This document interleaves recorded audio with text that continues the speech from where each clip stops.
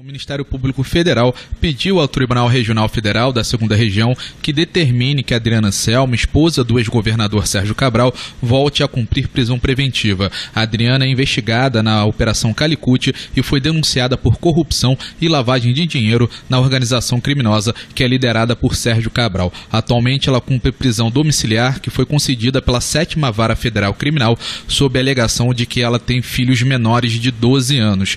Para o Ministério Público Federal, Federal, a prisão preventiva é essencial para encerrar a prática de lavagem de dinheiro, crime que é muito é cometido com o uso de telefone e acesso à internet. Ainda de acordo com o parecer, o próprio Tribunal Regional Federal apontou em manifestação anterior que o benefício não alcançaria a ré tanto pelo fato de ela ter viajado diversas vezes sem os filhos. O MPF defende ainda que a conversão em prisão domiciliar afronta o princípio de isonomia que defende que todos são iguais perante a lei, já que há milhares de outras mulheres com filhos detidas e que não foram favorecidas da mesma forma. Esse pedido vai ser julgado amanhã.